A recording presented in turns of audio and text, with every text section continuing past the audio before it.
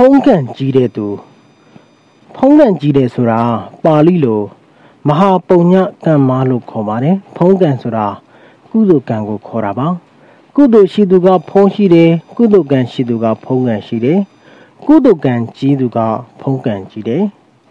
ပြောင်းမြန်အနေနဲ့ပြောရင်တော့အကုသိုလ်များသူကဖုံးမရှိဘူးအကုသိုလ်ကံရှိနေတဲ့သူကဖုံးကံမရှိဘူးအကုသိုလ်ကံကြီးမားသူကဘယ်လိုလုပ်ဖုံးကံကြီးမှာလဲ ဒါကြောင့်ကုသိုလ်ကံမများပြုထားသူဟာဖုံးကံကြီးတဲ့သူပါဖုံးကြီးတယ်ဆိုတာကိုကိုယ်တိုင်ကုသိုလ်ကောင်းမှုတွေများများပြုခဲ့လို့ဒီကုသိုလ်ကောင်းမှုတွေရဲ့အကျိုးကိုခံစားနေရတာပါ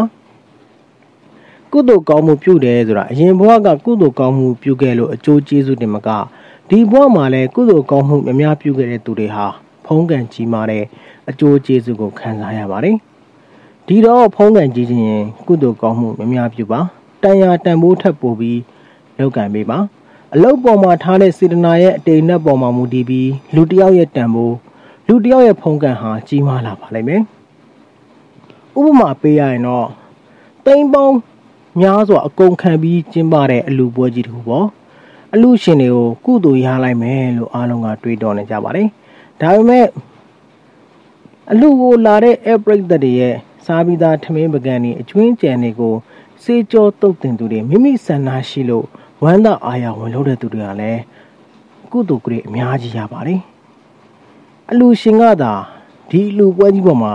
အနှဲငယ်စိတ်တစ်ခုကွက်လာရင်အာကုသိုလ်ကံဝင်သွားမှာပါဒီစားခြင်းစားကြံတွေကိုစေကြောတုတ်တင်သူတွေရေခတ်ပေးသူထင်ခွဲပေးသူတကယ်မိမိရဲ့စေရနာအလျောက်လုပ်ပေးတဲ့သူတွေကတော့ပျော်ရွှင်ကြည်နူးနေတဲ့စိတ်နဲ့ကုသိုလ်တွေအများကြီးရမှာပါကုသိုလ်အကုသိုလ်ဆိုတာဟာကိုထားတဲ့စိတ်အပေါ်မှာမူတည်ပါတယ် ကိုထားတဲ့စိတ်အပေါ်မှာမူတည်ပြီးဖုံးကန်ကြီးတဲ့သူဖုံးကန်မကြီးတဲ့သူဒီလိုမျိုးကွဲပြားသွားကြပါတယ်။